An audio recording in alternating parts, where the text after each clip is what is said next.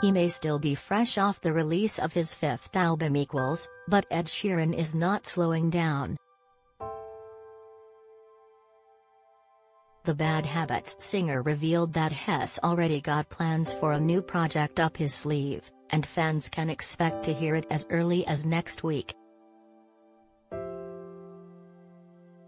Sheeran, 31, appeared on the Project NZ on Wednesday and was asked if his next album will be titled, Minus, in keeping with his math-themed symbol titles. Well, that's not going to be the next record I put out. I've got something else that's a bit more of a curveball, he teased. We've got the first thing of it dropping in 10 days, in 10 days Terry's gonna be something coming out. Though Sheeran didn't offer any further details on the mysterious project, he did say that he doesn't expect it to be a hit in New Zealand. It's more gonna be a big hit somewhere else, he said. When you hear it you'll understand. You'll be like, yeah. The four-time Grammy winner released Equals in October, buoyed by singles like Bad Habits, Shivers, and Overpass Graffiti.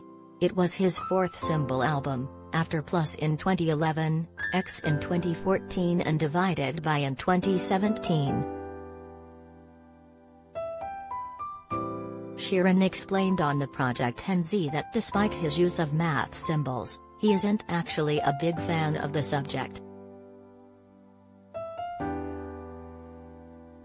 I very early on in my career decided, I don't mean to play it down, but I do have a face for the radio and I was like, I don't really want to be a poster boy ever, I don't want to be like, selling my record being like, hey, how you doing?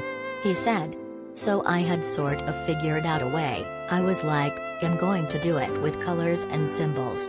So I was like, I'd love to get to a point where Terry's a billboard of just red with an equal sign, or green with a multiply, or blue with a divide, or orange with a plus, and people go, oh, Ed's got an album coming out. Equals was Sheeran's first release since he put out number 6 collaborations project in 2019, and has stayed busy in the months since, putting out a new version of The Joker and the Queen with Taylor Swift, and hopping on Camila Cabello's new single Bam Bam.